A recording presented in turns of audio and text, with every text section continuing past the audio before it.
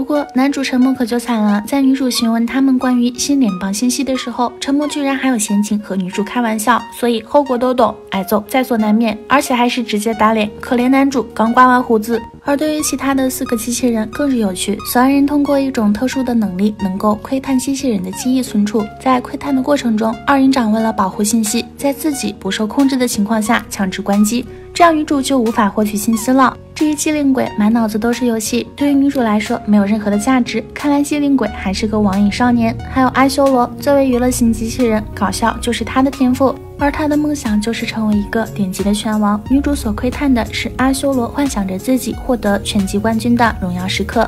至于五虎这个机器人就有趣多了，被女主稍微恐吓了一下，就直接把女主想要的信息全部都交代了。这五虎的名字和性格有些不太相符啊。现在基本已经确定，沉默一家人都是搞笑担当。当然，动画中还有一大亮点，那就是第三集中出现的两个女性角色，身材真不是一般的那种好，肤白貌美大长腿，还带着汹涌的气势。